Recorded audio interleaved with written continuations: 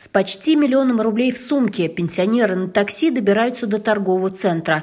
На этих кадрах супруги спешат к банкомату. Все это время их одолевала мысль. Если не успеть, накопленные ими деньги попадут в руки мошенников.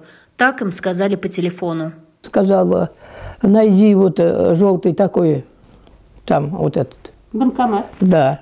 И э, я тебе продиктую номера это. Вот на эти номера положим деньги а через два дня э, приедет она и привезет.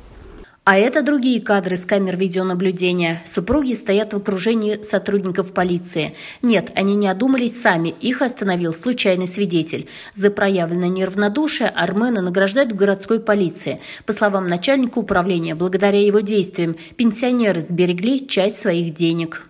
Мне показалось подозрительным, что бабушка непонятно кому хочет перевести что. Вот, я ей подошел, понял, что бабушки, дедушки этот, э, там звонят мошенники, пытаются это, обмануть их. И я решил позвонить сотруднику полиции. Обещания, уговоры, а после и вовсе угрозы. Это уже второй день общения пенсионеров с мошенниками. Злоумышленник звонит советом продолжить начатую накануне операцию и перевести им оставшуюся сумму. Я вам выделил человека, который э, занимался вашим делом. Он несет всю юридическую, всю финансовую ответственность. А вы сейчас просто взяли и так меня подставили. Кто это делает, я не понимаю. И вашу жену Пальчесама будет, э, она будет оштрафована по э, той же статье. И мы сейчас будем штрафовать данного сотрудника, так как он не завершил с вами дело. Он не обновил ваши банковские реквизиты, то есть э, ваш лицевой единый счет. На этот раз мошенник предстал в разговоре в образе сотрудника правоохранительных органов. Как и в случае с лжесотрудником банка, это очередная уловка. Совет – прервать беседу и обратиться в полицию. С начала года около 20 горожан рассказали о звонках, поступивших им из якобы силовых структур последнее время участились случаи обращения к нашим клиентам от имени сотрудников банка и от имени правоохранительных органов. О том, что им якобы оформлены кредиты, о том, что якобы совершены какие-то сомнительные операции.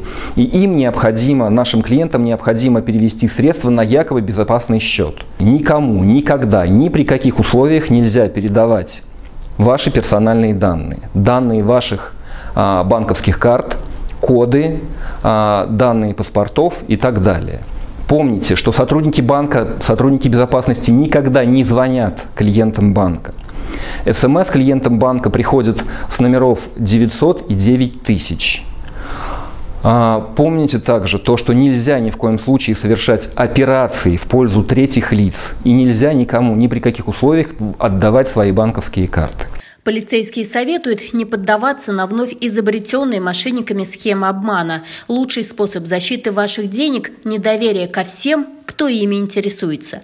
Безопасному поведению следует научить и своих пожилых родственников. Эта категория граждан является одной из самых уязвимых. Эллада Абжалимова, Анатолий Чернов. Дежурная часть «Саратов».